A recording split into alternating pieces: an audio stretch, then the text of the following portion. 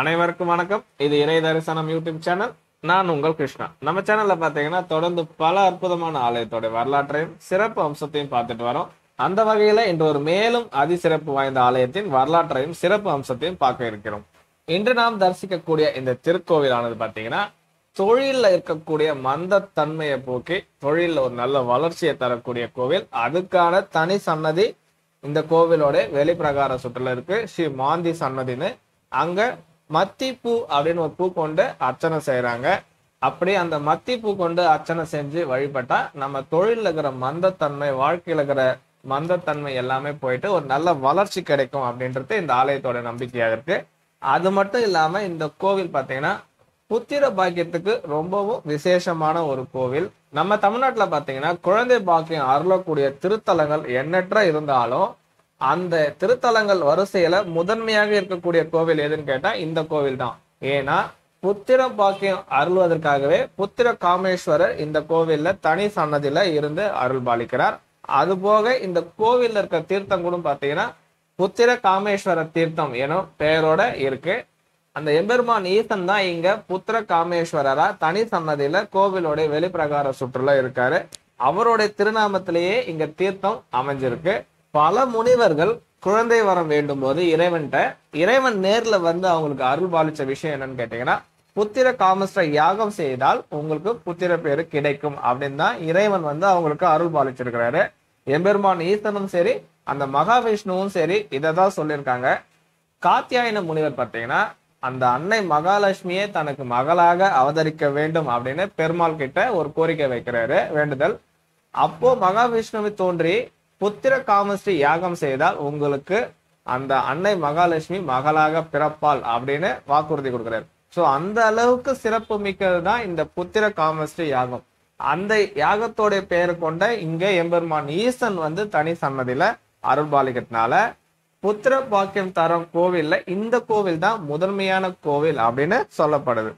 இன்னும் இந்த புத்திர பாக்கியத்தை பத்தி சிறப்பிச்சு சொல்லணும்னு பாத்தீங்கன்னா அபிராமி பட்டரே திருக்கடையூர்ல அன்னை அபிராமியை பாடும்போது கலையாத கல்வியும் குறையாத வயதும் கபடுவாராத நட்பும் கன்றாத வளமையும் குன்றாத இளமையும் கழிப்பினி இல்லாத உடலும் சலியாத மனமும் அன்பு அகலாத மனைவியும் என்பதோடு சேர்த்து தவறாத சந்தான பாக்கியம் வேண்டும் அப்படின்னு தான் பாடுறாரு. மற்ற விஷயத்தை எல்லாமே சொல்லும் போது சொல்லாத ஒரு வார்த்தை இந்த புத்திர பாக்கியத்துக்கு சொல்லும் போது மட்டும் சந்தானம் அப்படின்னா புத்திர பாக்கியம். அந்த வார்த்தையை சொல்லும் போது மட்டும் தவறாத சந்தான பாக்கியம் வேண்டும் அப்படின்னு தான் கேட்கிறாரு அபிராமி பட்டர். இப்படி உதாரணங்களை நம்ம சொல்லிக்கிட்டே போகலாம் இந்த குழந்தை பேரை பத்தி. ஏன்னா அவ்வளோ விஷயம் இருக்கு. அத்தனை முனிவர்கள் வந்து இறைவனை வேண்டி இந்த புத்திர பாக்கியம் பெற்றிருக்காங்க. அவ்வளோ ஏன் இந்திரனுக்கு ஜெயந்தன் மகனாக பிறக்கிறதுக்கு இந்த புத்திர காமேஸ்வர தீர்த்தமும் இந்த புத்திர காமேஸ்வரம் தான் காரணம் அப்படின்னு சொல்றாங்க.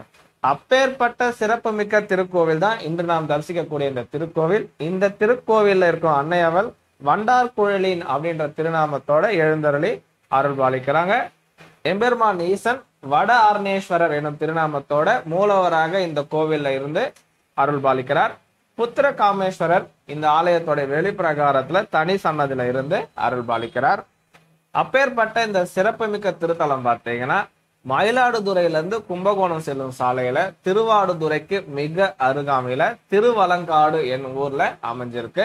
இந்த திருவலங்காடு என்னும் பேர்ல பாத்தீங்கன்னா ரெண்டு கோவில் இருக்கு. ரெண்டு கோவிலுமே எம்பெருமான் ஈசன் பேரு. வட ஆர்ணேஸ்வரர் தான். தாயார் திருநாமமும் வண்டார்கோழி அம்மை தான். ஆனா நாம இன்னைக்கு தரிசிக்கிற கோவில் பாத்தீங்கன்னா மயிலாடுதுறையில இருந்து கும்பகோணம் செல்லும் சாலையில இருக்கக்கூடிய திருவலங்காட்டுல இருக்கக்கூடிய இந்த கோவில் தான் நம்ம இன்னைக்கு தரிசனம் பண்ணிட்டு இருக்கோம். இந்த கோவில்ல கருவறையில் அமைந்திருக்கும் எம்பெருமான் ஈசனை எல்லாரும் மனமாற தரிசனம் பண்ணிக்கோங்க. அவருடைய அருளோட எல்லாருக்கும் எல்லா வளமும் நலமும் கிடைக்கணும் அப்படின்னு வேண்டிக்குங்க. இந்த கோவில்ல பாத்தீங்கன்னா அம்பாள் சன்னதி ரெண்டு இருக்கு. நம்ம ஆல்ரெடி கோவிலுக்குள்ள வரும்போது முன் மண்டபத்திலே பாத்தீங்கன்னா தெற்கு நோக்கி அம்பாள் வண்டார் கோழி எனும் திருநாமத்துல அருள் பாலிக்கிற சன்னதிக்கு போயிட்டு தரிசனம் பண்ணோம். அது போக இந்த கோவிலோட உள்பிரகாரத்துல பாத்தீங்கன்னா மூலவர் சன்னதிக்கு அருகாமையில வண்டார் கோழி பழைய அம்மன் அப்படின்னு ஒரு சன்னதி இருக்கு. இந்த சன்னதி தான் இந்த கோவில் கட்டும்போது முதன்மையாக வைக்கப்பட்ட அம்பாள் சிலை. அதுக்கப்புறம் இந்த சிலை கொஞ்சம் சிதலம் அடைஞ்சதுனால இந்த சிலையை அகற்றிட்டு வேற ஒரு புதிய சிலையை வடிவமைச்சு வைக்கிறாங்க கும்பாபிஷேகம் போது. அப்போ இந்த சிலையை எடுத்து அப்புறப்படுத்தும் போது அம்பாள் வந்து அசரீதியா சொல்றாங்களாம் உங்க வீட்டுல யாருக்காவது உங்க கூட பிறந்தவங்களோ இல்ல யாருக்கோ ஒரு உடல் பாகத்துல சின்னதா ஒரு சிதைவு ஏற்பட்டுருச்சுன்னா அவங்கள வெளியே அனுப்பிடுவீங்களா? அப்படின்னு அம்பாள் வந்து அசிரீதியா கேட்டதாக சொல்லப்படுது. அதனாலதான் இந்த கோவில்ல இருக்கக்கூடிய அந்த பழைய அம்பாள் கனைய தனி சன்னதியில பிரதிஷ்டை செஞ்சிருக்காங்க. பேரும் வண்டார்கோழி அம்மை பழைய சன்னதி அப்படின்னே பெயர் சூட்டி தனி சன்னதியில நடராஜர் சன்னதிக்கு பக்கத்திலே வச்சிருக்காங்க இந்த கோவில்ல. ஸோ அந்த அளவுக்கு அம்பாள் வந்து நேர்ல பேசுற அளவுக்கு ஒரு சிறப்புமிக்க கோவில் தான் இந்த கோவில். அப்போ முன் மண்டபத்துல தெற்கு நோக்கி தனி சன்னதியில அருள் பாலிக்கிற சன்னதியில இருக்க சிலை பாத்தீங்கன்னா புதுசா செஞ்ச சிலை. சோ அதனாலதான் இந்த கோவில்ல ரெண்டு அம்பாள் சன்னதி இருக்கு. மேலும் இந்த கோவில் பாத்தீங்கன்னா கசிபா முனிவருக்கு முதல் மனைவியின் சொல்லக்கூடிய அதிதி தேவி இந்த ஆலயத்துல இருக்கிற வட ஆர்னேஸ்வரரையும் புத்திர காமேஸ்வரரையும் தரிசனம் செஞ்சு அதனுடைய பலனாதான் அவங்களுக்கு புத்திர பாக்கியம் கிடைச்சது அப்படின்னு புராணங்கள் சொல்லுது அப்படின்னு சொல்றாங்க. மேலும் பரதன் என்னும் சிவபக்தன் நீண்ட காலமாக குழந்தை பாக்கியம் இல்லாம இருக்கிறாரு.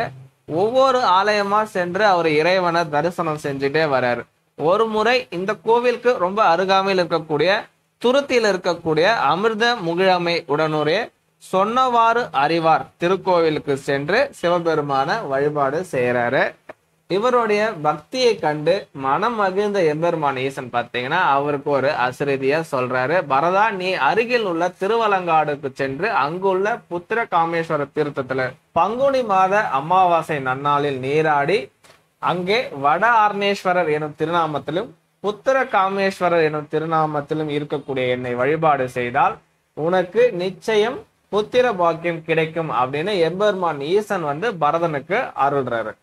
அது மட்டும் இல்லாம ஆண்டுதோறுமே பங்குனி மாத அமாவாசை தினத்துல திருவலங்காடு வந்து புத்திர காமேஸ்வர தீர்த்தத்துல நீராடி எம்மை வழிபாடு செய்பவர்களுக்கு நிச்சயம் குழந்தை பேரு கிடைக்கும். அதாவது மலடியும் குழந்தை பெறுவாள் அப்படின்னு எம்பெருமான் ஈசன் அருளினார் அப்படின்னு சொல்லப்படுகிறது. அதன்படியே பரதனும் அவனது மனைவியும் அவ்வாறே பங்குனி அமாவாசை நன்னாள் வரைக்கும் காத்திருந்து திருவலங்காடு வந்து புத்திர காமேஸ்வர தீர்த்தத்துல நீராடி எம்பெருமான் ஈசனை வழிபாடு செஞ்சு ஒரு அழகான பெண் குழந்தையை பெற்றார் அப்படின்னு இந்த கோவிலோடைய வரலாற்றுல சொல்லப்பட்டிருக்கு. அது மட்டும் இல்லாம இந்த கோவில்ல வண்டார்கோழி அம்மன் தெற்கு நோக்கி இருக்காங்க இல்லையா முன் மண்டபத்துல. அவங்களுக்கு அமாவாசை மற்றும் பௌர்ணமி பஞ்சமி திதி நாட்கள்ல வந்து வழிபாடு செஞ்சு தூய பசுனை நம்ம கடையில விற்கிறது இல்லைங்க கிராமப்புறங்கள்லாம் பாத்தீங்கன்னா வீட்லயே செய்வாங்க நெய் அந்த மாதிரி தூய்மையான பசு நெய்யை கொண்டு வந்து அம்பாளுடைய தீபத்துல சேர்த்து அவங்கள வழிபாடு செஞ்சீங்கன்னா நம்ம வேண்டியது அத்தனையுமே அம்பாள் கொடுப்பாள் அப்படின்றதும் இந்த ஆலயத்தோடைய ஒரு தொன்மையான நம்பிக்கையாக இருந்து வருது. கூடவே அங்க அமர்ந்து அபிராமி அந்தாதியை பாராயணம் செஞ்சா ரொம்பவும் நல்லது அப்படின்னு ஆலய அர்ச்சகர் நம்ம கிட்ட சொல்றாரு. மேலும் பழைய வண்டார்கோழி அம்மன் சன்னதி அருகாமையில பாத்தீங்கன்னா சரஸ்வதி தேவி தனி சன்னதியில இந்த கோவில்ல அருள் பாலிக்கிறாங்க இத்தல சரஸ்வதி தேவிக்கு புனர்பூசம் நட்சத்திரம் மற்றும் பஞ்சமி தேதி புதன்கிழமை. இந்த நாட்கள்ல வந்து நெய் தீபம் ஏற்றி வழிபாடு செஞ்சீங்கன்னா தங்களுடைய குழந்தையோட கல்வி சிறப்பாக இருக்கும் அப்படின்னு சொல்றாங்க. கல்வியில கொஞ்சம் மந்தமா இருக்கக்கூடிய குழந்தைங்களை கூப்பிட்டு வந்து இந்த மாதிரி நெய் தீபம் ஏற்றி வழிபாடு செஞ்சீங்கன்னா தொடர்ந்து அவங்களுடைய கல்வியில நல்ல ஒரு முன்னேற்றம் நல்லதொரு வளர்ச்சி இருக்கும். அவங்களுடைய கல்வி சிறப்பா அமையும் அப்படின்னு சொல்றாங்க. அதாவது இந்த கோவில் பார்த்தீங்கன்னா புத்திர பாக்கியத்தையும் தந்து அருள்றாரு. அது கூடவே அந்த குழந்தைக்கு நல்லது ஒரு கல்வி செல்வத்தையும் தந்து அருள் புரியறாங்க இந்த கோவில்ல இருக்கக்கூடிய சரஸ்வதி. ஏன்னா காலத்தால் அழியாத செல்வத்தை தராரு இந்த கோவில் இருக்கிற எம்பெருமான் ஈசனும் சரஸ்வதி தேவியும். அப்படிதான் நம்ம சொல்லணும். ஏன்னா எல்லா விஷயமுமே காலத்தால் அழிஞ்சிடும் ஆனா அந்த கல்வி மட்டும் அழியாது. அவன் அருளால ஒரு குழந்தை கொடுத்துட்டு அந்த குழந்தைக்கு கல்வியில ஒரு சிறப்பா அமையலைன்னா அது எப்படி இருக்கும்? நமக்கு அது மன வருத்தத்தை தரும்.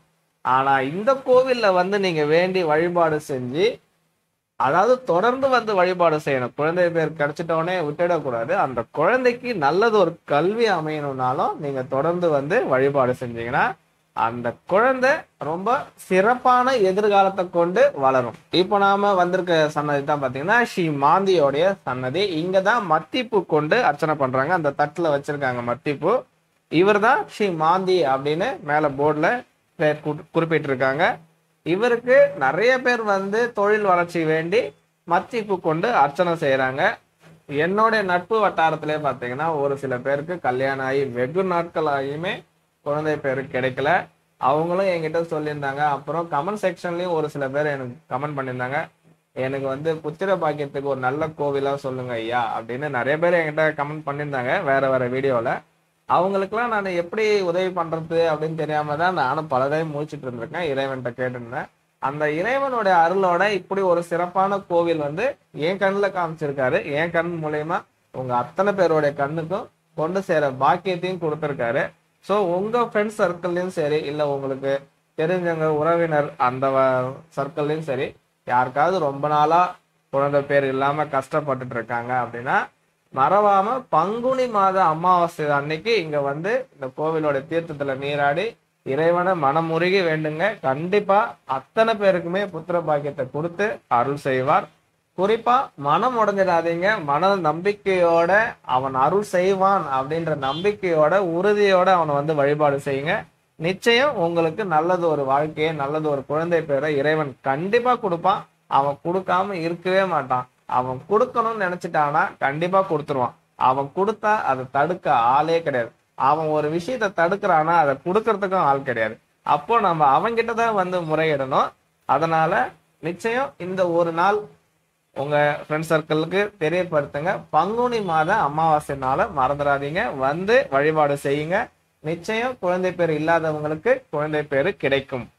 எவ்வளவு பெரிய கோவில் பாருங்க. ஆனா வெளியே இருந்து பார்த்தா இந்த கோவில் வந்து அவ்வளவு பெரிய கோவில் மாதிரியே தெரியல. ஏதோ சின்ன கோவில் ஊர்ல இருக்கிற ஒரு சின்ன கிராமத்து கோவில் அப்படின்ற மாதிரி தான் இருக்கு. ஆனா உள்ள வந்து பார்த்தா செம பெரிய கோவிலுங்க. அப்பா ஆனா பக்தர்கள் நடமாட்டம் அந்த அளவுக்குலாம் இல்லாம ரொம்ப அமைதியா இருக்குது. அதாவது விசேஷ நாட்கள்ல மட்டும்தான் பக்தர்கள் கூட்டம் வராங்க. பிரதோஷம் அப்புறம் இந்த அமாவாசை நாட்கள்ல பௌர்ணமி நாட்கள்ல பஞ்சமி நாட்கள்ல இந்த மாதிரியான நாட்கள்ல வராங்க. ஆனா மற்ற நாட்கள்ல பாத்தீங்கன்னா கோவிலே பாத்தீங்கன்னா காலியா இருக்கு. அது காரணம் நிறைய மக்களுக்கு இந்த இந்த மாதிரி ஒரு கோவில் இருக்கு அப்படின்றது தெரியல. அவங்க கிட்ட இந்த கோவில் எல்லாம் போயிட்டு சென்று அடையணும் சென்று அடைஞ்சாதான் அவங்க வந்து இங்க தரிசனம் பண்ணி பலன் பெற முடியும். இப்போ நம்ம இந்த கோவிலோட வெளிப்பிரகார சுற்றுல இருக்கோம். இந்த வெளிப்பிரகார சுற்றுல தான் புத்திர காமேஸ்வரர் சன்னதி இருக்கு. இந்த கோவிலோடைய பழமைக்கும் பெருமைக்கும் காரணமா இருக்கக்கூடிய சன்னதி அப்படின்னே சொல்லலாம் இந்த சன்னதியை. ஏன்னா இங்கதான் இந்திரன் முதல் பரதன் வரைக்கும் இந்த புத்திர காமேஸ்வரரை தரிசனம் செஞ்சு வேண்டிதான் குழந்தை பேரு பெற்றாங்க. ஸோ அவ்வளோ ஒரு சிறப்பு மிக்க பழமை வாய்ந்த சன்னதி தான் இந்த புத்திர காமேஸ்வரர் சன்னதி. எல்லாரும் புத்திர காமேஸ்வரரை மனமாற தரிசனம் பண்ணுங்க. குழந்தை பேர் இல்லாதவங்க நிச்சயம் நேரில் வந்து ஒரு முறையான தரிசனம் பண்ணுங்க. கண்டிப்பாக அவன் அருளோட உங்கள் அத்தனை பேருக்குமே குழந்தை பேர் கிடைக்கும். ஸோ மனம் தளராதீங்க. மன நம்பிக்கையோட குழந்தை பேர் இல்லாத தம்பதியர் வந்து தரிசனம் செய்யுங்க. எல்லாம் அவன் செயல்தான். அவன் அருளோட நிச்சயம் உங்கள் வாழ்க்கையில் ஒரு நீங்கள் எதிர்பார்த்ததோட ஒரு மகிழ்ச்சியான திருப்பத்தை இறைவன் கொடுத்து அருள்வான். இந்த அற்புதமான பழமை வாய்ந்த திருக்கோவிலோடைய வீடியோ பதிவு நிறைவாக இந்த வீடியோ பதிவு உங்களுக்கு பிடிச்சிருந்தா லைக் பண்ணுங்க ஷேர் பண்ணுங்க கமெண்ட் பண்ணுங்க. மறக்காம சப்ஸ்கிரைப் பண்ணுங்க. இது இறை தரிசனம் யூடியூப் சேனல் நான் உங்கள் கிருஷ்ணா. மீண்டும் ஒரு அற்புதமான ஆலய பதிவோடு மிக விரைவில் உங்களை சந்திக்கிறேன். நன்றி வணக்கம்.